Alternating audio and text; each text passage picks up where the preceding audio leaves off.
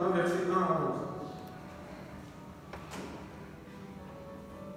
11. Excellent Théophile, j'ai parlé dans mon premier livre de tout ce que Jésus a commencé de faire et d'enseigner dès le commencement, jusqu'au jour où il fut enlevé au ciel après avoir donné ses ordres par le Saint-Esprit aux apôtres qu'il avait choisis.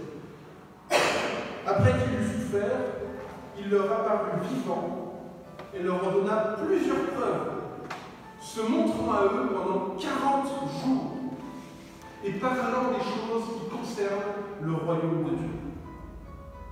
Et comme il se trouvait avec eux, il leur recommanda de ne pas s'éloigner de Jérusalem, mais d'attendre ce que le Père avait promis, ce que je vous ai annoncé, leur dit-il.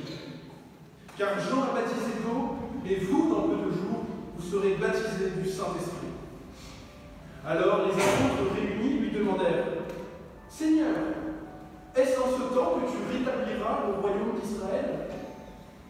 Il leur répondit Ce n'est pas à vous de connaître les temps et les moments que le Père a fixés de sa propre volonté, mais vous recevrez une puissance, le Saint-Esprit provenant sur vous, et vous serez mes témoins à Jérusalem, dans toute la Judée, dans la Samarie et jusqu'aux extrémités de la terre.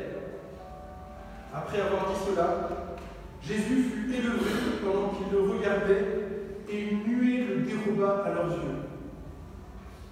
Et comme ils avaient les regards fixés vers le ciel, pendant qu'ils s'en allaient, voici deux hommes vêtus de blanc apparurent et dirent Hommes de Galilée,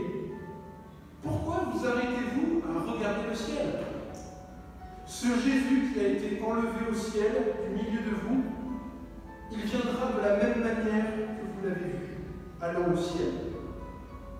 Jusque-là, la lecture de la parole de Dieu.